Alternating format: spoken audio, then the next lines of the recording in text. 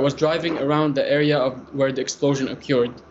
So we saw the smoke happening and we asked people what was going on. They said there was initially a first explosion that occurred in that area, but it wasn't that loud, so we, we couldn't hear it from where I was staying.